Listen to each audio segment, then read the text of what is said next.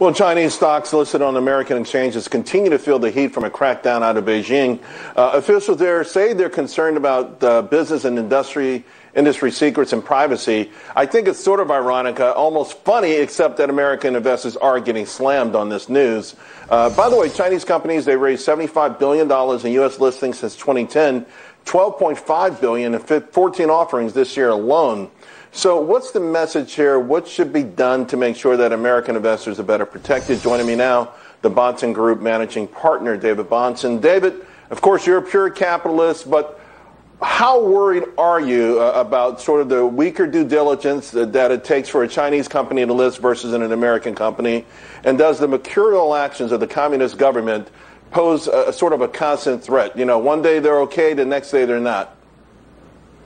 Yeah, I'm such a capitalist that I fully support people making the decision not to invest in such insanity.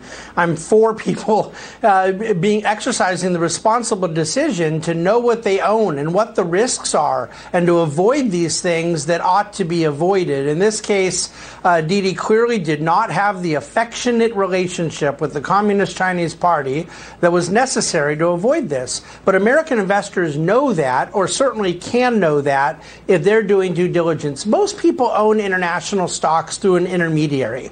Most people are using a fund or a money manager or whatnot. I think it's incumbent upon the fund manager to know what they're buying and why they're buying it. And those risks that you refer to, people can make the decision to proceed if they want. People have made a lot of money off of Alibaba as an example.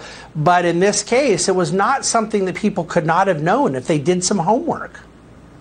Right, great point. Hey, the IPO market itself has been on fire. I mean, in terms of a whole lot of deals, uh, but it's already past the old go-go tech bubble days. I mean, and, and the stream of unprofitable companies, for some raising a yellow flag, even a red flag. How worried are you?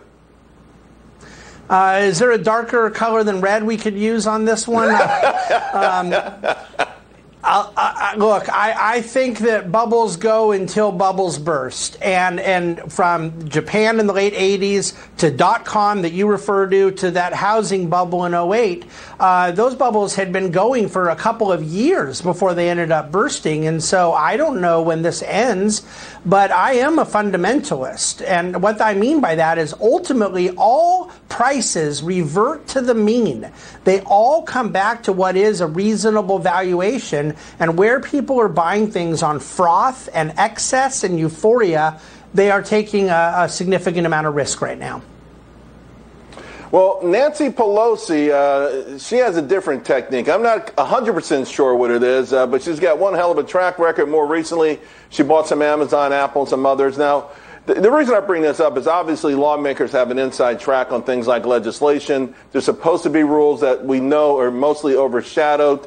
And this, uh, a lot of these newer investors are feeling like, hey, this is unfair. Should lawmakers be allowed to buy individual stocks?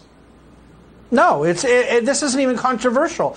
Even if someone did nothing wrong, even if it was just simply very prudent and appropriate portfolio management, the appearance of impropriety, the potential for casting this kind of doubt, adding to cynicism. Do, does our society need more cynicism, more tribalism?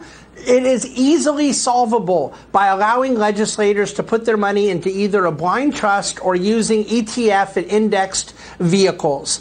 But the idea of having individual securities can't possibly end well. This is so easy to solve, it's ridiculous.